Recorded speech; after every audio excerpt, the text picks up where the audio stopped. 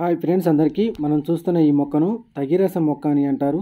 ఈ మొక్కలు పల్లెటూర్లలో బీడు భూములలో విరివిగా కనిపిస్తూ ఉంటాయి. పల్లెటూరులో ఉన్న ప్రతి ఒక్కరికి కూడా ఈ మొక్క తెలుసు. ఈ మొక్క యొక్క పువ్వులు పసుపు రంగులో కాయలు సన్నగా పొడవుగా ఉంటాయి. దీని శాస్త్రీయ నామం క్యాసియాటోరా. దీన్ని ఇంగ్లీష్లో రింగ్ వామ్ ప్లాంట్ అని కూడా పిలుస్తూ ఉంటారు. దీన్ని చాలా ప్రాంతాల్లో కూడా ఈ మొక్క యొక్క గింజలతో కాఫీ కూడా కాసుకొని త్రాగుతూ ఉంటారు.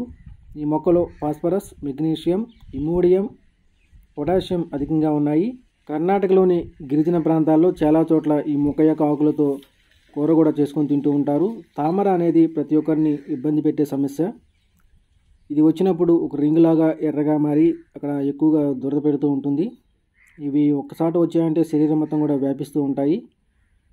అలాంటప్పుడు ఈ మొక్క యొక్క వేరును సేకరించి దానికి నిమ్మరసం చేర్చి మెత్తగా గంధంలా చేయాలి దాన్ని. దీన్ని ప్రతిరోజు కూడా తామరపై రాస్తూ ఉన్నట్లయితే మంచి ఫలితం ఉంటుంది. చాలా తొందరగా కూడా తగ్గుతాయి. మంచి ఎఫెక్టివ్గా ఇది పనిచేస్తుంది. అలాగే సోబి మచ్చలకు కూడా ఇది అద్భుతంగా పనిచేస్తూ ఉంటుంది. సోబి మచ్చలకు ఈ మొక్క యొక్క గింజలను సేకరించి వాటిని బియ్యం వండగా వచ్చిన గంజి పోస్తూ మెత్తగా నూరి దీన్ని రాయటం ద్వారా సోబి మచ్చలు తగ్గుతాయి.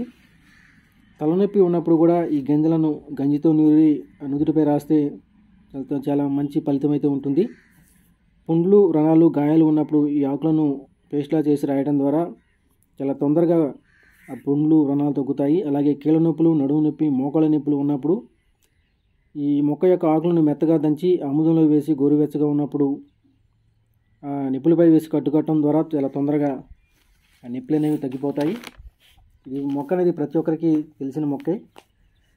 అలాగే అతిమూత్ర వ్యాధికి మొక్క యొక్క వేళ్ళను బియ్యం కడుగు నీళ్ళతో నూరి దాన్ని ప్రతిరోజు తీసుకుంటూ ఉన్నట్లయితే అతిమూత్ర వ్యాధి అనేది తగ్గుతుంది. కుష్టి వ్యాధికి కూడా ఈ మొక్క సమూలోత్సవం అద్భుతంగా ఉపయోగపడుతుందని కూడా నిపుణులు చెప్తూ ఉన్నారు.